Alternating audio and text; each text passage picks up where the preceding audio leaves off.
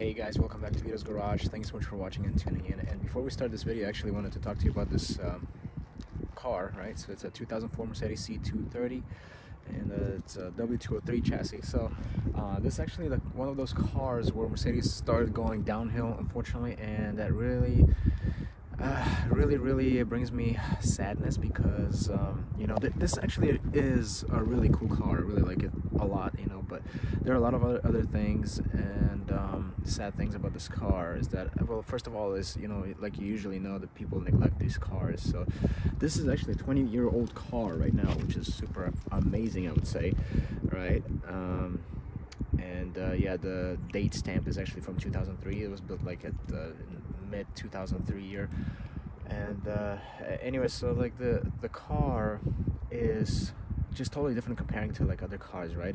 So I've been you know dealing with the parasitic draws on this car and a bunch of other issues that this car has mainly like electrical issues um, that you guys will see in, in this video uh, throughout the series but the thing is that like these cars are just like not built the same way you know? The funny thing is like this car has you know it says that it was built in Stuttgart uh, like you know other old school Benzes uh, but uh, this is where Mercedes, like I said, started going downhill. They started using a bunch of, you know, unnecessary electronics, you know, honestly. And another thing that I really dislike is that there's a bunch of, you know, communication lines, CAN bus lines, right, that they started, like, not just Mercedes, Mercedes but other manufacturers also started using that. It's like the worst system and most unreliable system with all this, like, why do these modules have to talk to each other and all that, you know, this is like, literally like I have this baby Benz right there that does not have this BS and it's been the most reliable car ever in the world you know and this one this is still a reliable car. Obviously have to put love and care to these cars too but um, you know with all these like like first of all yeah the, the communication lines second of all why does every single door need to have its own module to control power windows power door locks and everything else? And then eventually uh, that module will go bad and start will start drawing current like on this car.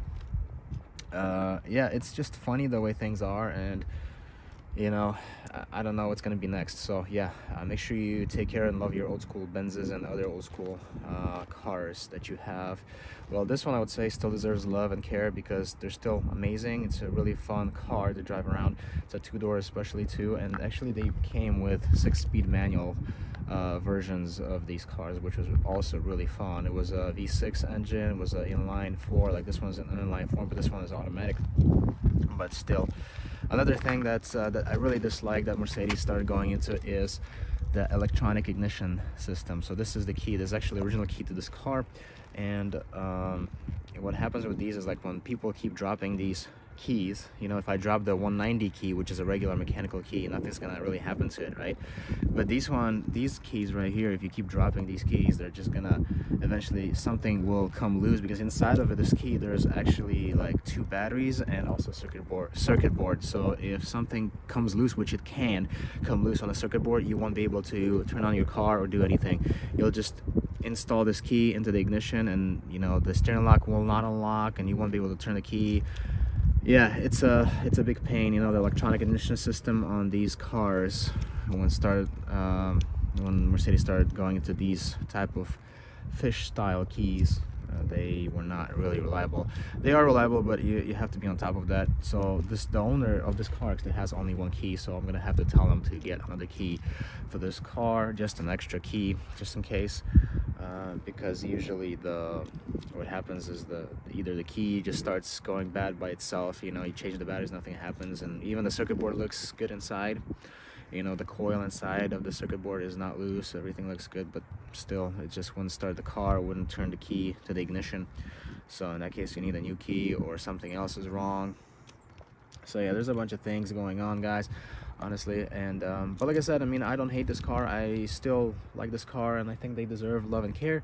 Um, you know in about 2000 I would say my mark for Mercedes-Benz stops I would say maybe 2006 2007 era the most you know anything after that is just complete garbage you know even these cars you know they they're still they, I've been doing a lot of work to this car guys there's still a lot that needs to be done so Yep, super fun. But uh, yeah, just wanted to like kind of share that my opinions about these cars. And it's not just the C-Class, you know, the same thing happened W211 chassis.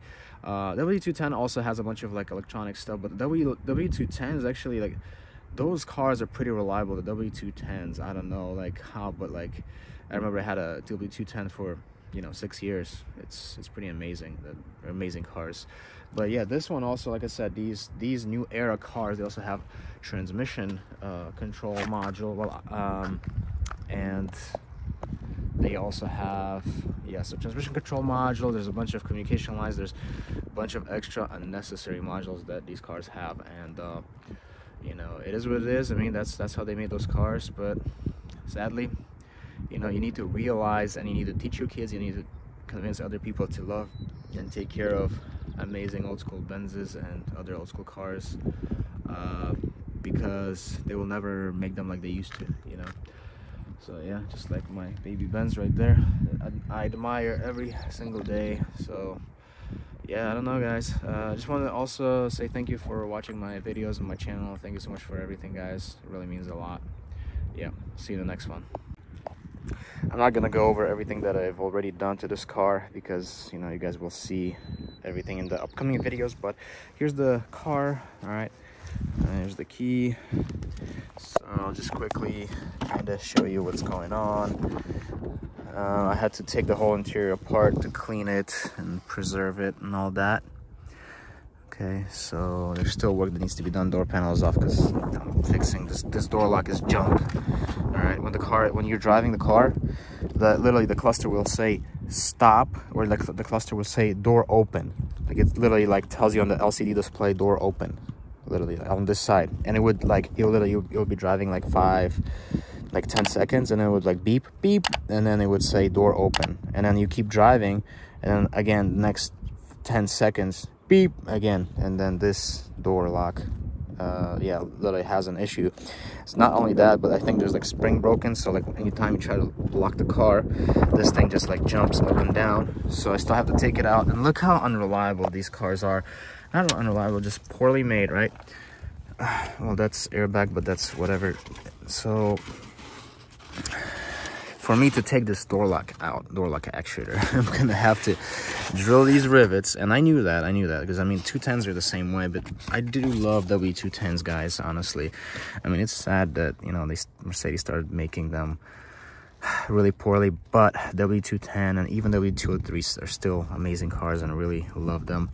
Uh, for the fact that this specific model has uh, optioned manual seats, which is really amazing because I know some power seats on these cars also had uh, parasitic draw issues. So at least this one has manual seats so that does you don't have to worry about that.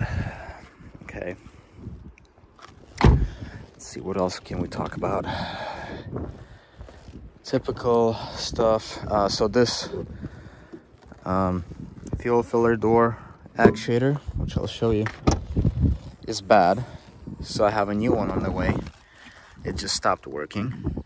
And it, didn't stop working. I think it has it wasn't working for a while. Yeah, it's just lock, locking and unlocking doesn't do anything. So it's another part that's failed. Uh, yeah, like I mentioned, that siren that was drawing the current, that's failed part as well. It's been drawing a lot of current.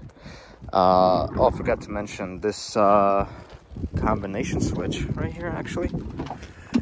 I had to replace that this combination switch. The cluster is actually also out because I'm having a problem with uh, fuel RPM and speedometer needles not working at all. The rest of the cluster is working but the, the speedometer and everything is not. Um, I had to change this combo switch because you would click it down it would not stay down now it's working fine. It's gonna be another video about that. Uh honestly don't know guys. There's there's a bunch of stuff going on. Um also have to watch out for these. It's pretty, pretty common not just on these cars but had to put liquid electrical tape in there for now kind of preserve it before as those uh, opening and closing of the tailgate just does that with time. Um what else can i say about this car? This car has mm, not a full size spare. It's like a like a, almost like a tiny donut. I don't know. I can't even like show you right now, but yeah uh, other than that i mean the car is actually really clean it looks dirty now but it's actually pretty clean uh, what else i can say did a lot of work to uh, suspension on it and um, yeah honestly i don't know guys this uh, this is the car all right uh, i'm gonna tell you right now guys i haven't worked a lot on these engines before. All right this uh, it's inline four compressor uh, 1.8 liter. Um, I really hate the design because not the engine but where the engine control module is as you can see totally exposed to all the heat and everything all the elements. Really really bad the heat right? You think about 190e 190e has the ecm really far far away from the engine compartment bay it sits like right about here where the battery is it's where all the modules are on the 190E. On this one, it's literally right here, and they did that on purpose. Another thing is there's a fuse box right here. It's also a SAM module, signal, signal acquisition module. So that module actually, you know, controls a bunch of things. There's a rear a SAM module as well. So these modules control like your, your lights, your wipers, a bunch of other things, right? Uh, God forbid you get water in there, it's gonna start having a bunch of different problems, you know. So this drain right here is kind of loose because this mount right there is a little broken so I would I would have to well it's not too bad now I'm gonna have to check the drains and everything too but this is know I think this is the stuff to watch out for. You don't want the water to be getting in your fuse box and uh, SAM module and just corroding everything. Uh yeah uh, like I said guys there's there's a bunch of stuff that uh, needs to be done to this car. And um, but I'm actually really amazed because this car is 20 years old and, um, you know, runs and drives actually pretty good, but just has a bunch of miscellaneous issues that need to be sorted out. I'm not saying the 190 is perfect. 190e, I got it several years ago, uh, and it was super, super tired because of, you know, thanks to previous owners and everything, but this car is doing really good, slowly but surely. Um, getting this car back to its life.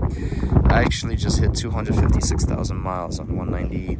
This one has 170 something, 8 I think, or 6,000 miles. Yeah, but I just wanted to kind of share my opinions and thoughts about these cars. They're actually really fun. Like I said, they came with a manual six-speed transmission, which is really cool for these cars. And, uh, you know, a lot of people love these cars. And like I said, I don't hate this car. I do really like this car and the way it looks um, you know, I just wish that things were a little more reliable as far as electronics uh, and everything else, you know. And I really wish they still used regular bolts and nuts and not rivets to hold the window regulators and all this stuff in, you know. Um, these car manufacturers, you know, bring back these amazing old school machines, the W124s, W140s,